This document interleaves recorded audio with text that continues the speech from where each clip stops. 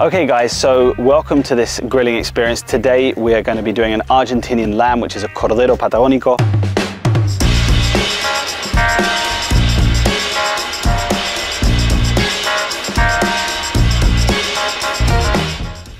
Hey everyone, and uh, welcome to another Argentine asado vlog. So I'm really, really excited about what we're going to be cooking today. Um, we are going to be cooking Cordero Patagónico, which means Argentine or Patagonian lamb. Now, this is really, really exciting because we're going to be doing it outside on my fire pit, which I've showed you before, which I'm going to be showing you here in some of the photos. And we're going to be doing it vertically on uh, what we call an estaca, which means basically like a cross or a support. And what this means is we're going to be actually cooking the lamb upside down vertically and on this, uh, like this this steel frame which is going to hold the meat in the right place. So it's a whole lamb. Um, this is a 13 kilo lamb. As you can see, it's pretty, uh, it's, she's pretty big.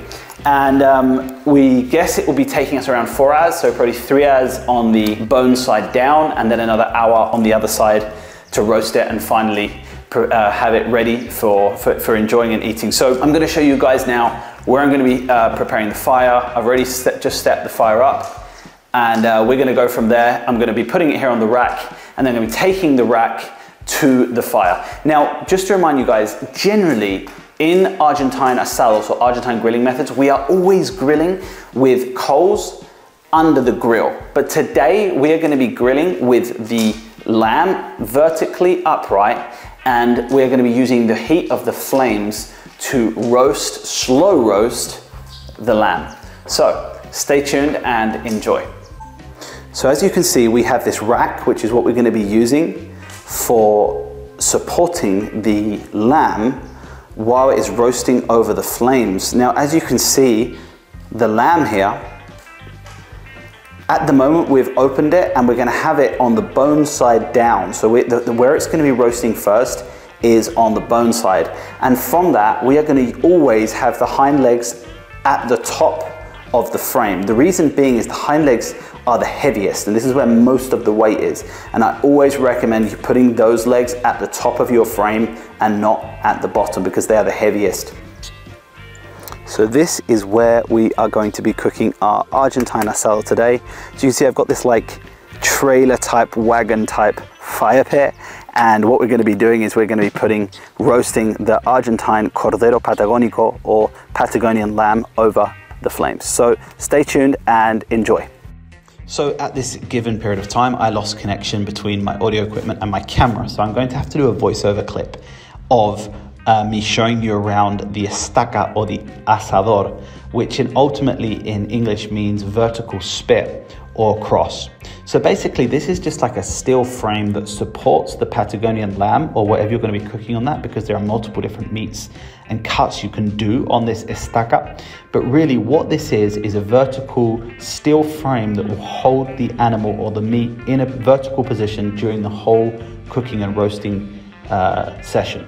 Now, during this grilling experience, you will notice that I have hung the Patagonian lamb upside down and it is inside the steel frame.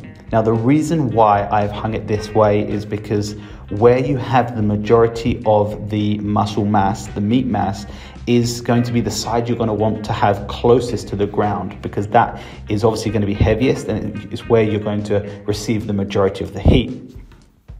Now, as you see at the uh, top of the frame, um, as I'm pointing to now, is a handle. And that handle is going to allow you to turn the frame around. And at the bottom, there is like a steel rod, and that is going to go into a socket, which is going to hold the estaca or the frame in position vertically.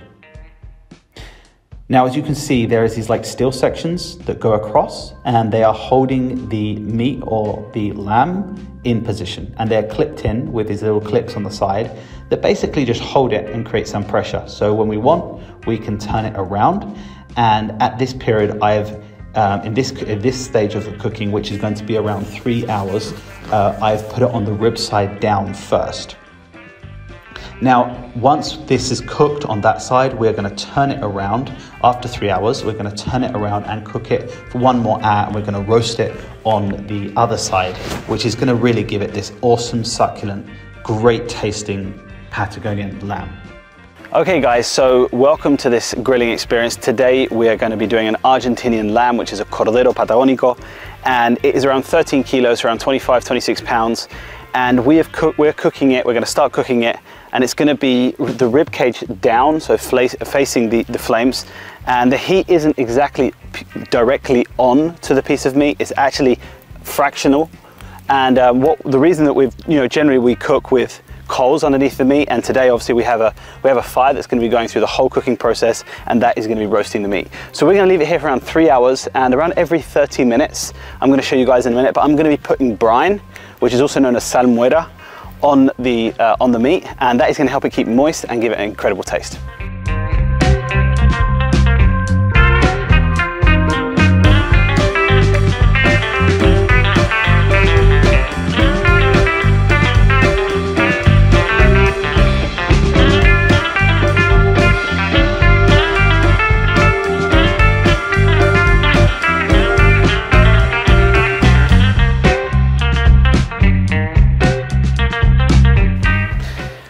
Okay, so the lamb has been on now for, for a few minutes and we're gonna keep it on the rib side, on the rib cage down for around three hours.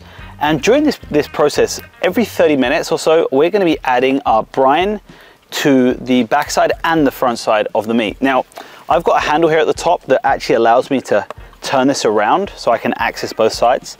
Now, if you haven't got that, it's gonna be a bit unpractical, but either way, uh, I'm gonna go and add some of this brine here to the meat. And basically all I'm doing is drizzling the,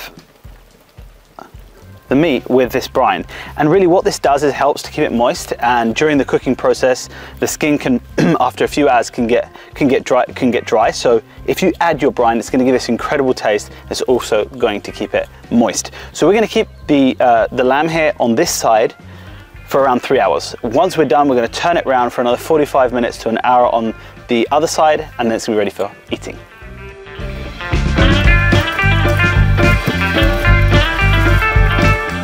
Don't do this at home, guys.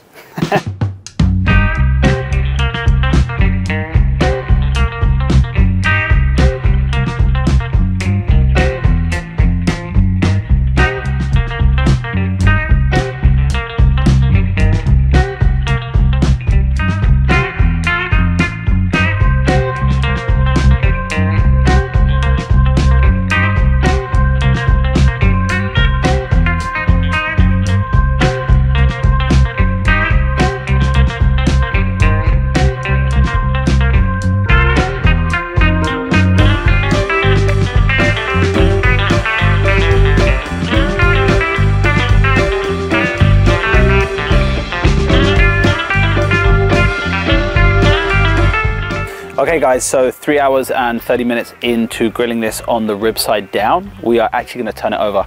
And the past like three hours we've been putting on the brine, which is the salmuera, and now we're gonna turn it over and we're gonna give it another 45 minutes. Here goes. And it's hot. there you go. So we're gonna give it another 45 minutes on the side, maybe, maybe a little less, depending on when we see this golden color coming through here on the, on the skin, that's when we're gonna take it off.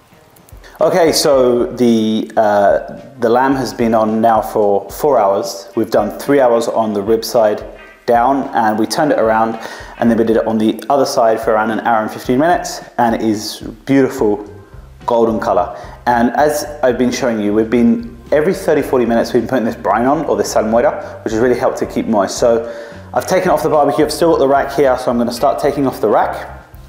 And basically, these is what's been supporting the lamb during the whole cooking process. And what is really cool about this is that it heats up and it actually helps collectively cook whatever you're cooking on the rack. So here I'm gonna give, give this a, a little try. Let's see how this incredibly moist, so I'm looking forward to trying this. See how this goes.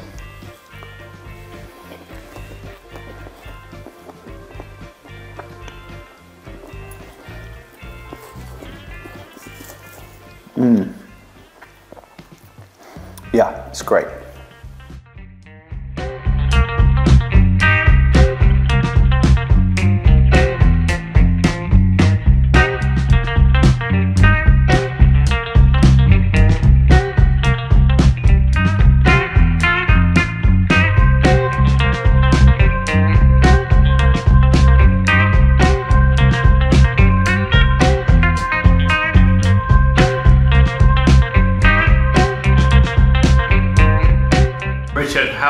How was the brother? Oh, How, how was the lamb? 10 points. It's like very juicy and you can taste the salmonella on the skin. As you see here, I have, I'm actually eating the leather or the skin from the outside. And the center is uh, really juicy, but not too rare. So it comes off the bone perfectly. And um, yeah, well, as you can see by my plate, it's 10 points. Thank you.